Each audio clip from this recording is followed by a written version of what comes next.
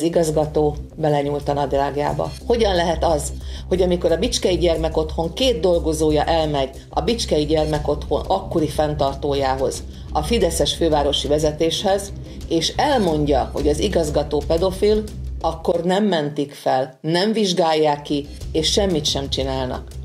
És mit ad Isten, ezt a főosztályt akkor Pölöskei Gáborné, Áder Anna Mária vezette, aki történetesen Áder János testvére.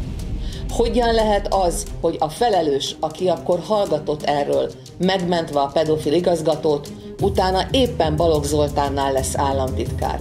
Annál a Balogh Zoltánnál, aki kitüntette a pedofil igazgatót, és aki a mostani pedofil ügynek is a kulcsfigurája.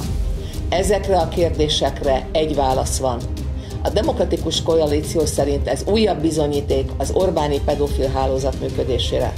Az Orbán rendszer a legmagasabb színfen fedezi, mosdatja, menti fel és tünteti ki a fideszes pedofilokat.